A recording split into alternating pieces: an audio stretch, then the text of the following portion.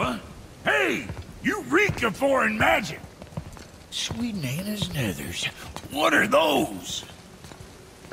I've never seen the like. That's gotta be a family heirloom. No.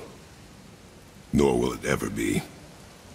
Son, my brother and me created Mjolnir for the big idiot. I know from quality. And them... them special. Where's the little turd? He has fallen ill. No. What happened? Aesir? No. The fault is mine. And my responsibility to make it right. No.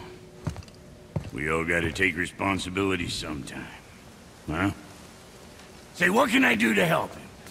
I can do things. When I should tag along? No.